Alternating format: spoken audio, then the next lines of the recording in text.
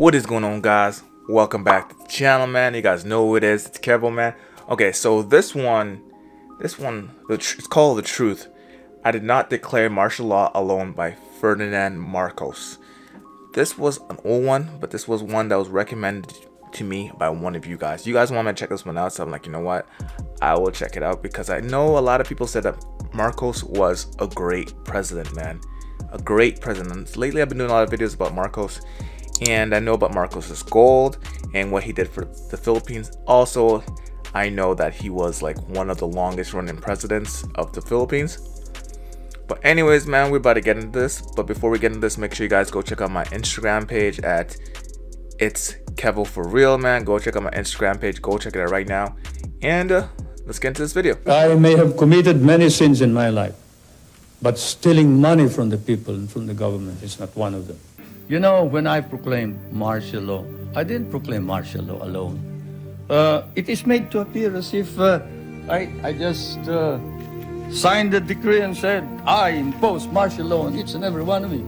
No. I asked the legislature to please pass a law proclaiming martial law because there was anarchy in the country. Now, uh, let me uh, say this the opposition was strong and uh, they were members of the Security Council, and somehow they adopted a resolution which uh, required that there be a unanimous vote for the armed forces to be able to move. And therefore, the armed forces was immobilized. At the same time, I asked uh, um, the um, opposition party to come and join me in a coalition government. I offered one half of the cabinet. And of course, they laughed at me and said, why should we join you? We're going to take over the government. By the time you are through with the exercise, you're dead, wow. politically and otherwise. So, and they uh, refused to join uh, me. I asked the advice of the uh, judiciary.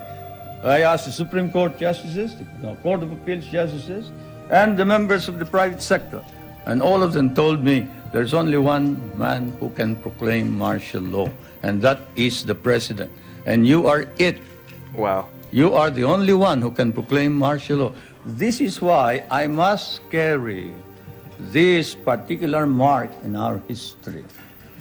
I could have I could not have transferred it to the legislature. Wow. Why? Because the legislature did not have the power. What does the Constitution provide? The uh, President shall be the Commander-in-Chief of the Armed Forces of the Philippines, and he may order the armed forces out to quell any disorder, riot, rebellion, invasion, insurrection, and. In okay, so so what I'm hearing so far is he didn't want to declare martial law, man. Like it seemed like he was forced to declare martial law. Like a lot of things in the Philippines, what I said, like even with the new president, like someone has to like the hard, make the hard decisions, and it seemed like Marcos did a lot of the hard decisions for the Philippines to make it a better country. Like he started the vision and now President Duterte is continuing the vision. A lot of people told me that President Duterte is continuing the vision of, of Marcos, and uh, Marcos was one of the great ones as well. So from what I'm seeing so far, it seems like he was he had no choice because this was in, in uh, chaos, and the rebels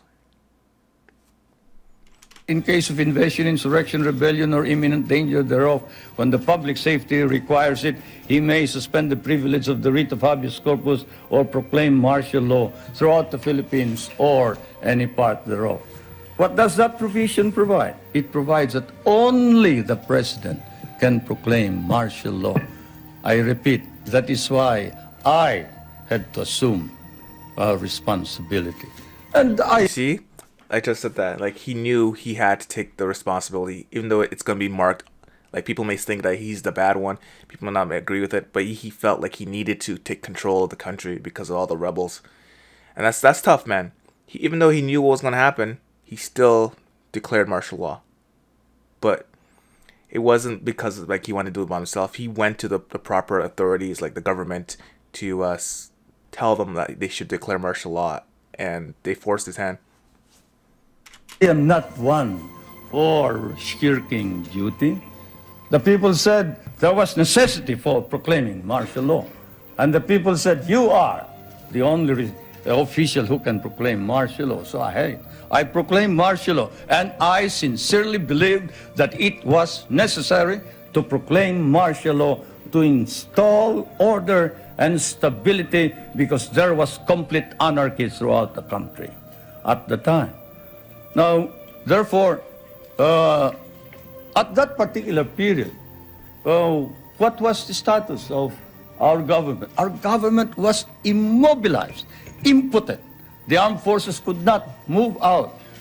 The industry was uh, not at all in any way uh, um, moving. Uh, there was no income coming into government. Everybody was running away. They burned the U.S. Uh, partly burned the U.S. embassy. Wow. Tried to burn it anyway. They tried to kidnap the American ambassador. American ambassador was Byroade. Ambassador Byroade. But whatever it is, they burned the Manila International Airport. Oh, wow. They bombed the Supreme Court. They bombed the Constitutional Convention. They bombed the City Hall. They burned uh, part of uh, Malacanang Palace. They attempted to uh, kidnap my children. They attempted wow. to kill the president eight times. There was, of course, an attempted assassination against the First Lady. You all know about that. What we have asked is this. We want a study. What is it that is necessary in order that we can perform our job? You and I know that if the Philippines is attacked, the United States is not necessarily bound to immediately react because the provision of the Mutual Defense Pact is that you will immediately take steps as is necessary to meet the contingency in accordance with your constitutional processes. So what does that mean? That means that you go to the Senate and the right. House of Representatives. Exactly. What does that mean? That means delay while we are dying there. 75% of our cities were devastated in the last war. We lost a million men. Shall I quote you the statements of Roosevelt and MacArthur that every Carabao will be paid for? Shall I tell you that the veterans who were inducted into the USAFFE, the United States Armed Forces of the Philippines, of the Far East, your armed forces, were paid only one half the salary of your soldiers? Wow. Shall I tell you that uh, we almost turned communists because you refused to recognize us? Shall I tell you that uh, I had a difficult wow. time stopping my guerrillas, 25,000 of them from joining the communists, because precisely you, you, you uh, sort of forgot that uh, we had done the fighting for you, you know. And it is not fair to accuse the Philippines of any violation of human rights when there has been no violation. Wow. Though if there has been any violation, we punish one thing I gotta say, man, Marcos right now sounds like a really smart guy. Like he knew what he was doing, like he knew what what he was doing for his country, and he did it for the people. Let's just listen to him the way he's talking, man. He sounds like a really smart man. Those who have violated. Do you think that if there was any corruption by the Marcos family, that we can maintain the present prestige and leadership of uh, the Marcoses in the Philippines? What do you think the Filipinos are? They are a very literate people. Literacy in the Philippines has increased up to 90% nationwide, and in Manila it is 100% uh, uh, um, literacy. It was in the dark. Um, and there were doubts and misgivings. There were fears that you were, you were tiring. You were uh, weary. You doubted your own strength. You didn't know where you were going. But now there is uh, hope. It's still partly in the shadows, but uh, it's trying to emerge. But we have a program which uh, harnesses the energies of those who are half employed, like uh, those who are in the farms. You see, uh, those who await for the coconuts to fall or who plant rice are uh, partly employed.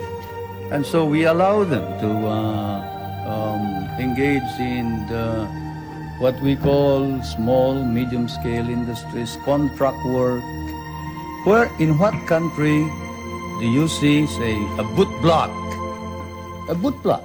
Go to a rural bank and say, look, I used to borrow money from this usurious uh, uh, lender here.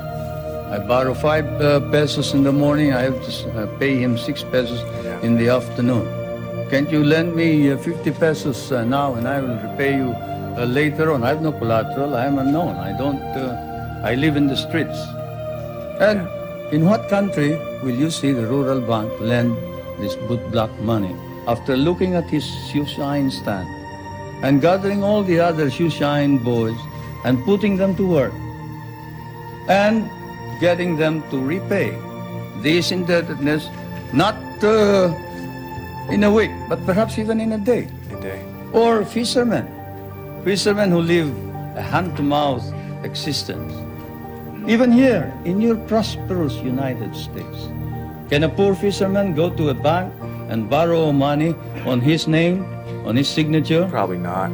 He cannot. But here in the Philippines, he can. A poor fisherman can go to the bank and say, look, I live in so-and-so, and the um, chairman of my village can certify that I am a poor fisherman. And I would like to organize a group. Can you lend us 5,000 so I can buy a motor? I can buy a net, I can buy a small uh, boat, and uh, we can improve our uh, earnings. earnings. And under our laws, we have set aside funds which then are lent out. Wow. And this man sounds like he had a, a vision for the Philippines, man. Like that is so true. No other country, if you can't show credentials in a bank that you can pay it back, they will not give you a loan. Like if you go you, you for go to a bank like in Canada to get a loan, if it's a business loan, you have to have a proper business plan. You have to have like your margins and saying how much you expect to uh, come back like with within the year and how soon are you able to pay the money back with interest. And if they, they look at your your uh, your plan and they feel like it's not going to make the money, they just say no sorry, we can't give you the money. Or they give you a ridiculously high interest rate, man. An interest rate where you can't even pay back. It's like, what's the point? It's like they want you to fail. Like I'm listening to Marcos right now, and he feels like he wants his fellow Filipinos to succeed. He wants them to do better. He wants them to better their lives. But for some reason, I don't know what happened. Well, let's keep listening. We have been able to lend out about 1 billion, 200 million pesos. Wow. Under this scheme, and they have been repaid. 1 billion. They have been repaid, and that's the and it's been repaid. Uh, worst part about it, isn't it? Uh, many people don't believe it. Wow. But they have been repaid. So him giving out money to the Filipino people, actually the Filipino will pay them back. Because the thing about like I always say, the Filipino people are very proud people, man and they're honest. Most of them are honest. Okay, a lot. Some people say don't trust everyone, but so far what I've seen, most of them are honest.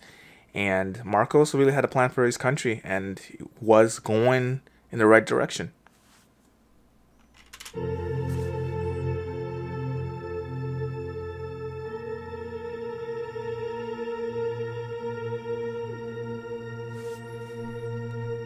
Alright guys, so you heard what I just said about Marcos, man. Honestly, Marcos from what I've seen, this I know this whole video said I did not declare martial law alone, but I felt like this wasn't a really video about him declaring martial law. I feel this was a video more about him like saying his plan for this for the Philippines and his vision. Like he wanted to give give the Filipino people a better lives. He did his best. He like just at the end there when he was saying that um, he set aside money so if you came to like a poor fisherman came into the bank and said they would need a loan to improve their lives get a better boat, get a better net, get a motor, they will give you the money. And they would, and the thing about it, every time when they give the money, the people come back and pay the money back to the Filipino bank. Like that's just something like you don't you don't see that like in Canada, man, or any kind of American states, man. This is something where like I can't believe like honestly how like how how did they pay back? Let's think about it.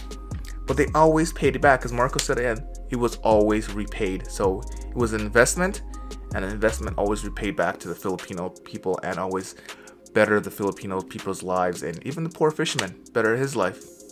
Right? Because I know someone was telling me that SM SM was a very small company, man. Like when it started way back, the shoe market, and it was a person who used to clean shoes who started SM. And I look at SM now. So SM is like the biggest chain of malls and even expanded in the Philippines, man. All because one person had a small dream and made it into something bigger than than whoever than he, he even probably thought it would ever be, right? Anyways, man, that's what I had to say about this. Let me know what you guys think in, in the comments down below, man. If you guys new to the channel, man, give the video a big thumbs up. Don't forget to hit that subscribe button down below. Turn that post notification bells on. If you guys have any other suggestions, let me know in the comments down below. Um, don't forget to go check out my Instagram page at It's Kevo For Real. And yeah, I'll catch you guys in the next one, right? Peace.